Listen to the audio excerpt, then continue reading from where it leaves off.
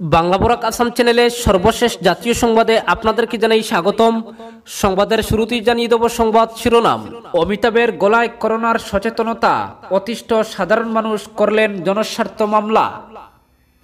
Tractor দিয়ে trailer দেখালেন কৃষকরা, পুরো সিনেমা ছাব্বিশ জানুয়ারি কাঁপছে দিল্লি।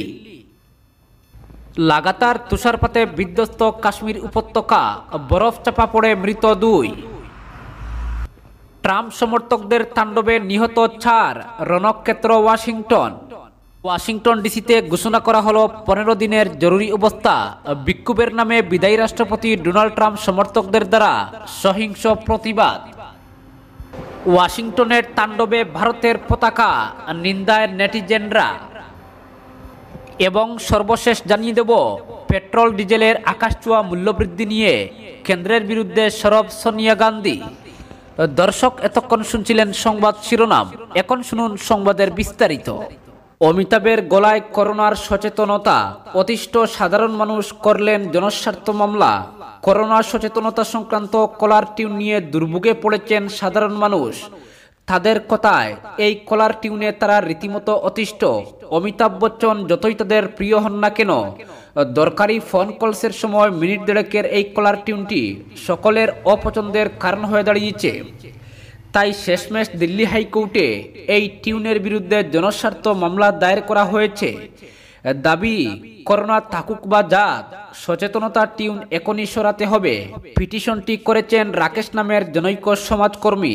তার বক্তব্য অবশ্য ভিন্ন। তিনি বলছেন, করোনা সচেতনতা কলার টিউনে অমিতাভ বচ্চনকে বেছে নিয়ে ভুল করেছে ভারত সরকার। তারা অমিতাভের মতো একজন নামী অভিনেতাকে এজন্য কোটি কোটি টাকা দিচ্ছে। অথচ যারা প্রকৃত করোনা যোদ্ধা, তাদের উপেক্ষা করছে। অথচ তারাই এই সংকটের মুহূর্তে খাবার পোশাক ও আশ্রয় নিয়ে গরিবের পাশে দাঁড়িয়েছেন গতকাল দিল্লি হাইকোর্টের দুই বিচারপতি, ডি এন প্যাটেল ও জ্যোতি সিংহের এজলাসে কলার টিউন সংক্রান্ত এই মামলাটির শুনানির কথা ছিল। কিন্তু শুনানি আঠারো তারিখ পর্যন্ত স্থগিত হয়ে গিয়েছে। পিটিশনে আরও বলা হয়েছে এখন করোনা যোদ্ধাও আছেন। যারা এই করোনাকালে তাদের কষ্টার্জিত উপার্জন গরিব মানুষের মধ্যে বিলিয়ে দিয়েছেন। কোনো সাম্মানিকের অপেক্ষা না করেই এরা মানুষের পাশে দাঁড়ান। এভাবেই সমাজসেবার মাধ্যমে দেশের হয়ে কাজ করছেন এরা। অথচ অমিতাভের বিরুদ্ধে আইন ভাঙ্গার বহু অভিযোগ রয়েছে। তার পুরনো ইতিহাস পুরোপুরি পরিষ্কার নয়। তার কণ্ঠস্বর সম্বলিত এই কলার টিন ব্যবহার করতে দিয়ে কোনো সমাজসেবা করছেন না তিনি। এজন্য তিনি রীতিমতো টাকা নিচ্ছেন। তাই এই ধরনের কলার টিউনে তার গলা ব্যবহার করা হবে কেন? গত চব্বিশ নভেম্বর বিবাদী পক্ষের কাছে বিষয়টি উত্থাপন করেছেন রাকেশ। কিন্তু বিবাদী পক্ষ কোনো সাড়া শব্দ করেননি এই বিষয়ে, পিটিশনে বলা হয়েছে। অপরদিকে ট্র্যাক্টর দিয়ে ট্রেলার দেখালেন কৃষকরা। পুরো সিনেমা ছাব্বিশ জানুয়ারি কাঁপছে দিল্লি। চাপ বাড়ছে কেন্দ্রীয় সরকারের উপর। একদিকে কৃষকদের রণহুঙ্কার, অন্যদিকে সুপ্রিম কোর্টের উদ্বেগ। দুদিক থেকেই কিছুটা চাপে কেন্দ্রীয় সরকার। প্রায় দেড় মাস পরেও আন্দোলন নিয়ে কোনো সমাধান সূত্র না বেরোনোয়। কৃষি আইনের বিরুদ্ধে সব মামলা শুনতে রাজি হয়েছে শীর্ষ আদালত। বুধবারই সুপ্রিম কোর্ট জানিয়েছে, তিনটি কৃষি আইনের বিরুদ্ধে দায়ের হওয়া সব মামলার শুনানি হবে। শুনানির দিন ধার্য হয়েছে আগামী এগারো জানুয়ারি। এমতাবস্থায় গতকাল ট্র্যাক্টর মিছিল করলেন কৃষকরা, যাকে তারা বলছেন ট্রেলর। আর ছাব্বিশ জানুয়ারি দেখা যাবে পুরো সিনেমা। বৃহস্পতিবার আন্দোলনকারী কৃষকরা একাধিক এলাকায় ট্র্যাক্টর র্যালি করেন। আর আগামী ছাব্বিশ জানুয়ারি প্রজাতন্ত্র দিবসের দিন গোটা দিল্লিতে ট্র্যাক্টর র্যালি করবেন তারা। এদিন সিঙ্গু, টিকরি, গাজীপুর, শাহজাহানপুর সীমানায় কয়েক হাজার ট্র্যাক্টর নিয়ে মিছিল করেন কৃষকরা। হরিয়ানা ও রাজস্থান সীমান্তেও হাজির হয়েছিল কয়েক হাজার ট্র্যাক্টর। কৃষকরা জানিয়েছেন, পাঞ্জাব হরিয়ানার প্রতিটি গ্রাম থেকে জন করে মহিলাকে নিয়ে আসা হবে দিল্লিতে। ট্র্যাক্টর র্যালির জন্য এদিন ইস্টার্ন পেরিফেরাল এক্সপ্রেসওয়েতে আমজনতার যাতায়াত বন্ধ ছিল। দিল্লি হরিয়ানা সীমানায় প্রায় দেড় মাস ধরে যেভাবে প্রবল ঠান্ডার মধ্যে কৃষকরা লাগাতার ধর্ণা সমাবেশ চালিয়ে যাচ্ছেন, তাতে গোটা দেশের সাধারণ মানুষও উদ্বিগ্ন। সেই উদ্বিগ্নতার রেশ উঠে এসেছে দেশের শীর্ষ আদালতের প্রধান বিচারপতিদের গোলাতেও। বুধবারই কৃষক ধর্ণা সংক্রান্ত মামলার শুনানির শুরুতেই নিজেদের উদ্বেগের কথা জানান প্রধান বিচারপতি এস এ বুবদে। তিনি কেন্দ্রীয় সরকারের প্রতিনিধি, অ্যাটর্নি জেনারেল বেনুগোপালকে বলেন, কৃষক বিক্ষোভের পরিস্থিতির বিন্দুমাত্র উন্নতি হয়নি। প্রধান বিচারপতির মন্তব্যের পরিপ্রেক্ষিতে অ্যাটর্নি জানান, কেন্দ্রীয় সরকার আন্দোলনরত কৃষকদের সঙ্গে লাগাতার আলোচনা চালাচ্ছে এবং আশা করা হচ্ছে পুরো সমস্যার সন্তোষজনক সমাধান সূত্র বেরিয়ে আসবে। কেন্দ্রীয় সরকারের প্রতিনিধি অ্যাটর্নির অভিমত জানার পরে শীর্ষ আদালত জানায়, কৃষক আন্দোলন সংক্রান্ত যাবতীয় মামলার শুনানি করা হবে আগামী সোমবার। এর মাঝে সরকারের সঙ্গে আন্দোলনরত কৃষকদের আলোচনায় যদি কোনো বিষয়ে অগ্রগতি হয়, তাহলে প্রয়োজনে আগামী সোমবারের শুনানি আরও পিছিয়ে দেওয়া হবে, জানায় শীর্ষ আদালত। দেশের শীর্ষ আদালত যখন কৃষি আইনের বিরোধিতায় চলতে থাকা কৃষক বিক্ষোভ নিয়ে উদ্বেগ প্রকাশ করছে ঠিক তখনই বিকল্প পরিকল্পনা তৈরি করছে কৃষক সংগঠনগুলি, সামনেই দেশের সাধারণ বাজেট। এই বাজেট পেশ করার লক্ষ্যে আয়োজিত হবে সংসদের অধিবেশন, যা শুরুর কথা রয়েছে উনত্রিশ জানুয়ারি থেকে। এই অধিবেশন শুরুর সময়ে গোটা দেশের চুপ থাকবে দেশের রাজধানীর প্রতি। এই সময়ে যে কোনো উপায়ে কৃষক আন্দোলনকে রাজধানী দিল্লিতে ছড়িয়ে দিতে পারলে কেন্দ্রীয় সরকারের উপরে মারাত্মক চাপ তৈরি করা যাবে বুঝেই কৃষক নেতারা চিন্তা করছেন বিকল্প পন্থার। এই প্রসঙ্গে প্রয়োজনে বিভিন্ন রাজনৈতিক দলের তরফে দেওয়া অপ্রত্যক্ষ সমর্থন ব্যবহার করার কথাও ভাবছেন কৃষক নেতারা। ঘটনা হলো, কৃষকরা ইতিমধ্যেই কেন্দ্রীয় সরকারের বিরুদ্ধে তাদের আন্দোলনের প্রাথমিক রূপরেখা জানিয়ে দিয়েছেন। যেখানে ২৬ জানুয়ারি প্রজাতন্ত্র দিবসে দেশের রাজধানী দিল্লিতে দশ হাজারের বেশি ট্র্যাক্টরের সমন্বয়ে র্যালির আয়োজনের কথা বলা হয়েছে। এখন এই কৃষক নেতারা ভাবছেন উনত্রিশ জানুয়ারি থেকে শুরু হওয়া সংসদের অধিবেশনকে কীভাবে কাজে লাগানো যায় তার কথা। এর অর্থ সরকার তাদের দাবি মানবে না, ধরে নিয়েই কি তারা তৈরি হচ্ছেন আরও দীর্ঘ লড়াইয়ের জন্য।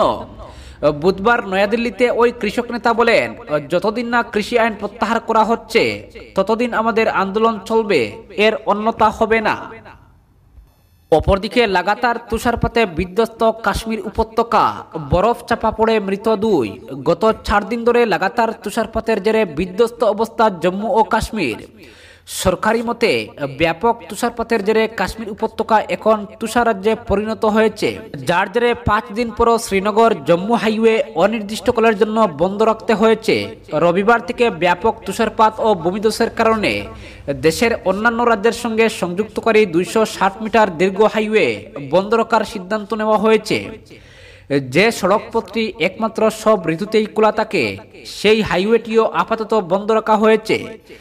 যার ফলে হাইওয়েতে ট্রাফিক পরিস্থিতি জটিল হয়ে গিয়েছে। সারি সারি গাড়ি দাঁড়িয়ে রয়েছে পাঁচ দিন ধরে। রাস্তা পরিষ্কার না করা পর্যন্ত কোনো গাড়ি চড়া সম্ভব নয়। তবে আজ থেকে ট্রাফিক কন্ট্রোল করা সম্ভব বলে জানা গিয়েছে। সামরুলি, নাসরি, ক্যাফটেরিয়া মোড়, শেরি, মারুক ও জওহর টানেল বন্ধ রাখা হয়েছে। অন্যদিকে জম্মু ডিভিশনের সোপিয়ান রাজৌরি যাওয়ার অন্যতম রাস্তা মুঘল রুডও ব্যাপক তুষারপাতের জেরে বন্ধ রয়েছে। শুধু সড়কপথই নয় তুষারপাতের কারণে অনির্দিষ্টকালের জন্য বন্ধ রয়েছে বিমান পরিষেবাও গত চার দিন ধরে শ্রীনগর বিমানবন্দরে বিমান পরিষেবা বন্ধ রয়েছে। তবে আজ থেকে ফের স্বাভাবিক উড়ান চালানোর সিদ্ধান্ত নিচ্ছে বিমানবন্দর কর্তৃপক্ষ। অপরদিকে ওয়াশিংটন ডিসিতে পনেরো দিনের জরুরি অবস্থা ঘোষণা করা হয়েছে। বিক্ষোভের নামে বিদায়ী রাষ্ট্রপতি ডোনাল্ড ট্রাম্প সমর্থকদের দ্বারা সহিংস প্রতিবাদে এখন পর্যন্ত চারজন নিহত হয়েছেন। বিবিসি থেকে খবর কংগ্রেসের যৌথ অধিবেশনে জো বাইডেনকে বিজয়ী ঘোষণা করার আনুষ্ঠানিক প্রক্রিয়াতে ট্রাম্প সমর্থকরা হঠাৎ সেখানে দাঙ্গা শুরু করেন। বাংচুরের পাশাপাশি গুলি চালানো হয়েছে। এরপরেই ওয়াশিংটনে কারফিউ চাপানো হয়েছিল। বুধবার ট্রাম্পের কয়েক হাজার সমর্থক ওয়াশিংটনে জড়ো হয়েছিলেন কংগ্রেসের শুনানির বিরোধিতা করার জন্য। এর মধ্যে বিভিন্ন চরমপন্থী গোষ্ঠীর সদস্য রয়েছে।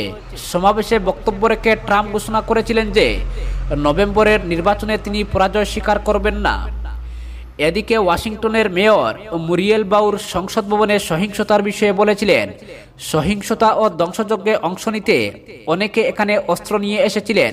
অস্ত্র ছাড়াও তারা রাসায়নিক, ইট এবং বোতল নিক্ষেপ করেছেন। জরুরি অবস্থা স্থানীয় কর্তৃপক্ষকে ওয়াশিংটন ডিসি নাগরিকদের নিরাপত্তা নিশ্চিত করার জন্য কারফিউ সহ বিভিন্ন ব্যবস্থা গ্রহণ এবং জরুরি সরবরাহের জন্য বিশেষ ব্যবস্থা গ্রহণের অনুমতি দেবে। এই ঘোষণাটি একুশে জানুয়ারি বিকাল তিনটা পর্যন্ত কার্যকর হবে। অন্য কথায়, এই জাতীয় পদক্ষেপগুলি বিশ জানুয়ারি জো বাইডেনের শপথ গ্রহণকে কেন্দ্র করে যে কোনো অপ্রীতিকর ঘটনা এড়াতে ব্যবস্থা নেওয়া হয়েছে। এদিকে হোয়াইট হাউসের তিন কর্মকর্তা পদত্যাগ করেছেন। এর পরিপ্রেক্ষিতে সংসদ ভবনে অভূতপূর্ব আক্রমণ। এছাড়াও গুঞ্জন রয়েছে যে আরও কয়েকজন পদত্যাগ করবেন। হোয়াইট হাউসের উপ প্রেস সচিব সারা ম্যাথিউজ, সামাজিক সম্পাদক রিকি নিকিতা এবং এফ প্রথম লেডি মেলানিয়া ট্রাম্পের chief of staff Stephanie Grisham বুধবার রাতে তাদের পদত্যাগ জমা দিয়েছেন বলে ব্রিটিশ মিডিয়া ইন্ডিপেন্ডেন্ট জানিয়েছে। এক বিবৃতিতে সারা ম্যাথিউস বলেছিলেন, ট্রাম্প প্রশাসন এবং আমরাজ্যের নীতিগুলি গ্রহণ করেছি, তাতে দায়িত্ব পালন করতে পেরে আমি গর্বিত।